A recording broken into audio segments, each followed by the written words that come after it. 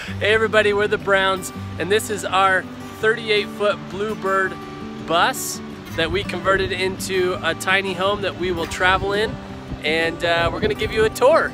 So here we go. Hey friends, we're the Browns. Chad, Katie, Addison, and Kenya, Milo, and Charlie. We live to love an adventure. This is our story of leaving the norm behind to travel the United States full time, spreading love and encouraging others to do the same. Our family motto is love always, adventure often. So hit subscribe and join us for this incredible journey.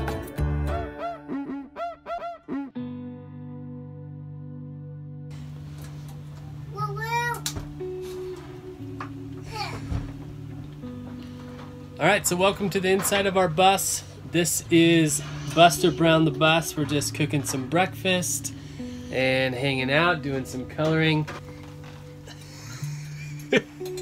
nice.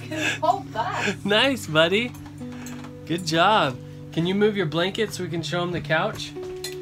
This is one of our most favorite features of the bus. Katie's dad engineered and built it, and Katie did the cushions for it. She sewed them and it looks really awesome. So this is our kind of our main seating area and it folds out into a bed.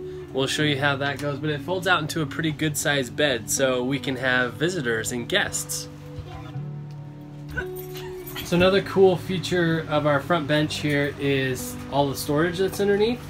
So just pull these cushions off and we can lift the seat. We have all kinds of storage for days. Arts and crafts, books, toys, sports, blankets, all that kind of stuff.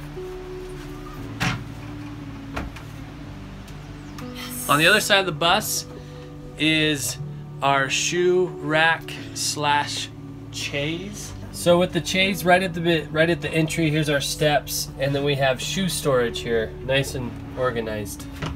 Lots of shoes. And then the seating area. And again, Katie did the cushion for it. So on the other side of the chaise, we have, we built in just a bookshelf here. So we can have our art supplies and books and our shoe storage goes all the way through underneath the chaise. So it's just full of shoes.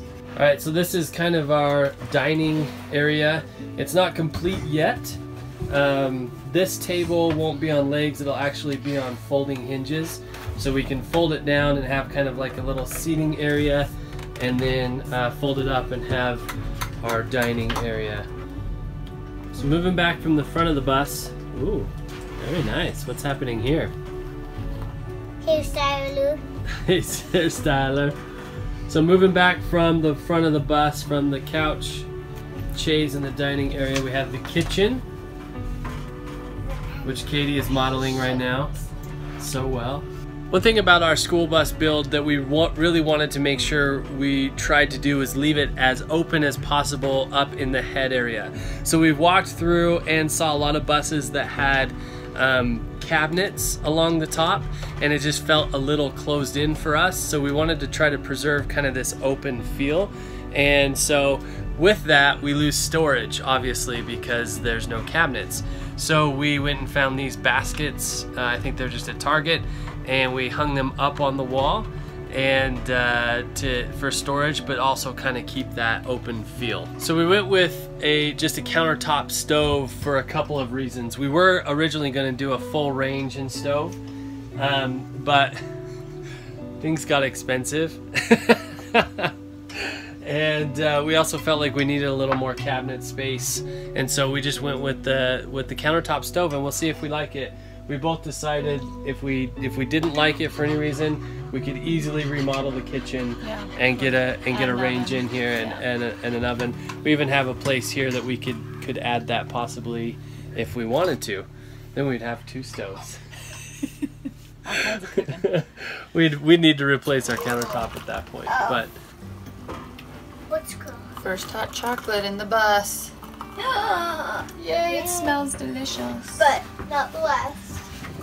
Definitely not the last. A lot of people have asked us how we decided on the appliances we decided on. There were a few factors. Obviously, cost is always uh, a concern, especially when you're getting towards the end and everything has costed a little bit more than you thought it was going to. So that was one. Um, and then just you have to make some space decisions and you have to sacrifice some things that you think you might want for practical storage and functionality and all of that kind of stuff. So I love this little area of the bus. I'm I'm stoked by the way this this came out. This little inset that we did for our spice rack, and uh, pretty soon we'll have some plants and stuff up there, up on this shelf. That's what kind of what that was intended for. We just went with a regular apartment sized fridge. I think it's 20. What is it? 24 by 30. Yeah. Um, and only about five feet tall. Yeah. So anyway, just a regular apartment fridge. 9.9 cubic feet. Let's show them what yummy food we have here. Oh, such yummy food. Oh, so much yummy food. Lots of eggs. We can actually fit quite a bit of stuff in here, and we do eat a lot of eggs, so we have a dedicated egg shelf. um, and the freezer. Not a lot of food in here yet. We gotta go shopping. We had to install these little child safety latches so that uh, while we're driving, it doesn't come flying open and those have seemed to work pretty well. We did have to glue this one on. Um, it came off a couple times. So anyway, so that's our fridge. We run it, obviously it's all electric, it can't go propane, and uh, we run off of our solar. We haven't had any issues running our fridge up to this point.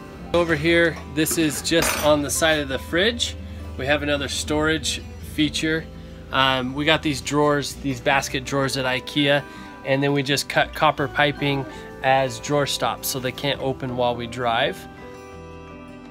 Under those drawers, we just have some open storage space, and then inside of here is our water pump. So we can basically take these off, open that up, and service the water pump if we need to, and that's pretty much all that's under there. And our freshwater tanks are directly underneath us, right there, uh, on the underbody of the of the bus. So right across from the drawers, I'll back up a little bit so you have perspective. There's our kitchen. This is our jacket closet and uh, just random daily organizer stuff. So sunscreen, sunglasses, running belts, all of that kind of stuff. And then we have lots of hooks for our coats and jackets and hats. We are, all of us wear lots of hats, and so this is where we hang them.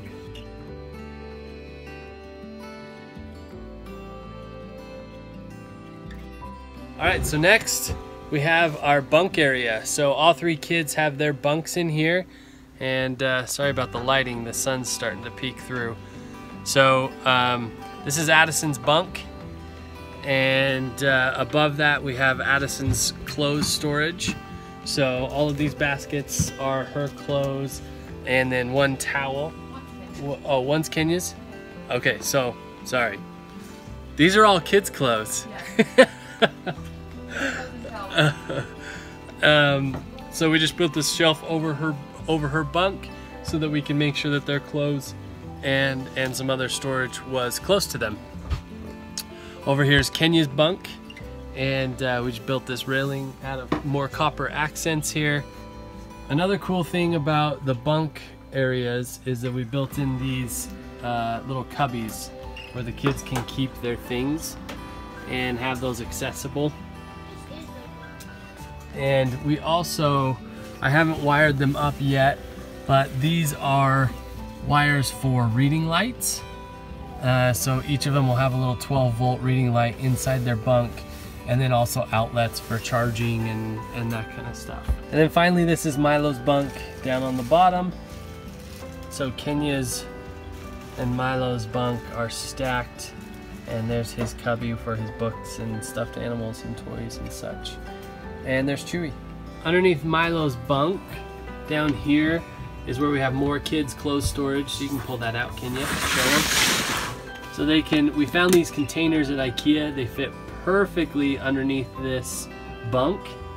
And uh, Kenya's clothes are there and Milo's clothes are there. So then in the morning they can just jump out of bed, slide those things out, grab their clothes, and then slide them back in. Did it take a lot of muscle? No. Sometimes I have to take the lid off. Oh, yeah. We also have some more storage underneath there. Those don't go all the way back, so I'm not going to show you, but we have just some long-term storage clear behind those. Good job. Underneath Addison's bunk is all of our solar, so our, our solar battery bank and complete solar setup. So inverter, breaker box, charge controllers, all of that kind of stuff. So this is our central electrical area. Everything, all electrical in the bus comes into this area and uh, runs off the batteries or the inverter or the shore power that goes out of the bus right there. And that's where we plug in our bus when we're able to uh, plug into shore power. So pretty cool. Um, we're super proud of this area and it's been working amazing. We've been running our refrigerator off of our solar and uh, we haven't had any issues at all. I also have additional storage in here just for tools and cables and all of that kind of stuff.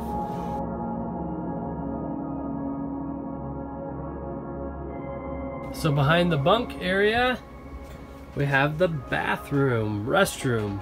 So we have our shower.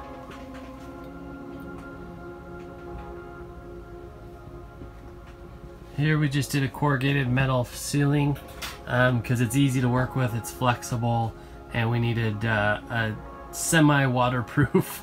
it doesn't really need to be waterproof. We're not taking full standing showers in this in this tub. We're, we're just sitting and showering that way. So we did a, a shower head that is movable. So we can, this actual, this mount for the shower head is just a suction cup. So we can have it down there to fill it like a bathtub or we can move it up anywhere we want on this wall and just stick it wherever it needs to go. And uh, just a few bath accessories.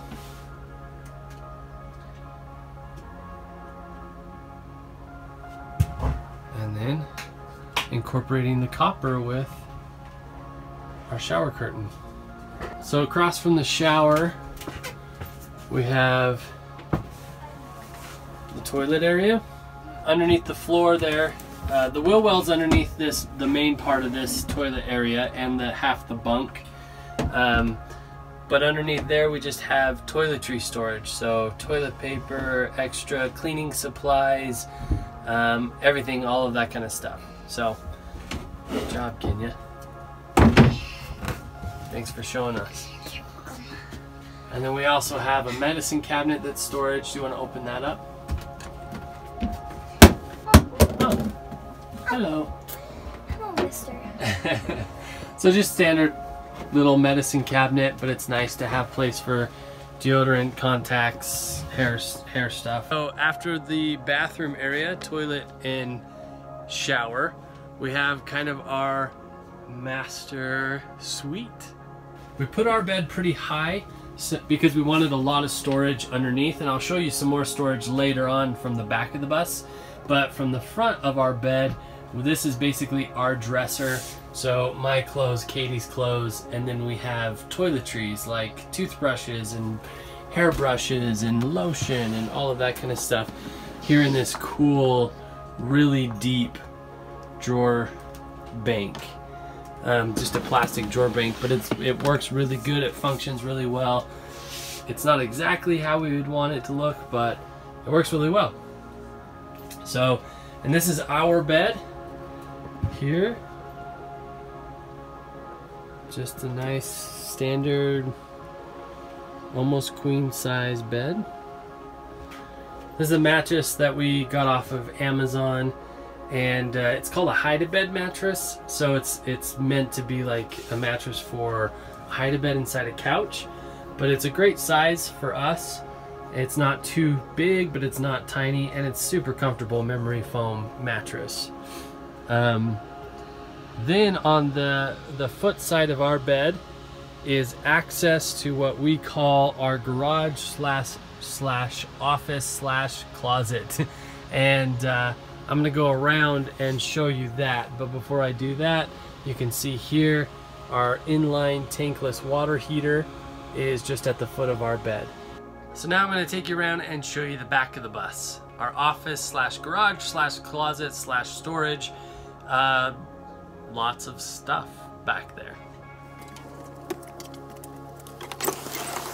So as for the outside of the bus, not a ton to talk about. We obviously have all of our solar up on the roof and uh, our water refill. We have two freshwater tanks. This is where we fill those up. We should open them there. This is our shore power and uh, we can just plug in there. Pretty easy peasy. This is all on the drive or on the passenger side where the door is. And then as you go further along the back of the bus there's our outdoor shower. It's pretty simple. You just take the hand the hand holder thingy out and uh, have a nice little outdoor shower in the woods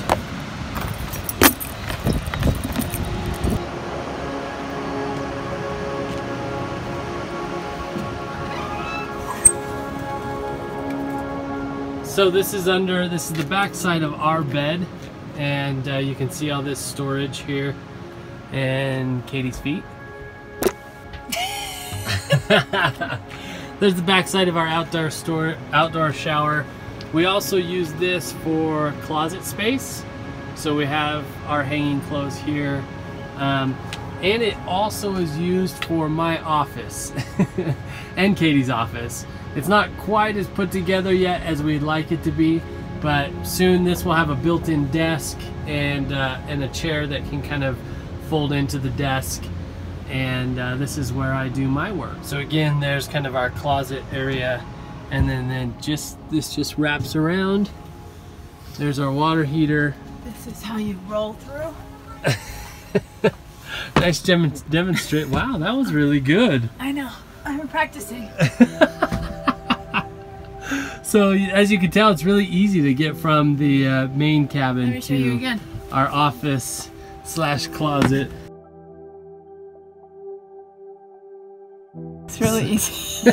All right, so that's our bus home. I hope we covered everything. If you have any questions, put them in the comments. We'd love to answer. I'm planning probably to do a second tour video. I'm sure there's some things that we missed and there's also some additions that we're making like some doors and uh, our fold up table, all of that kind of stuff. So there, what?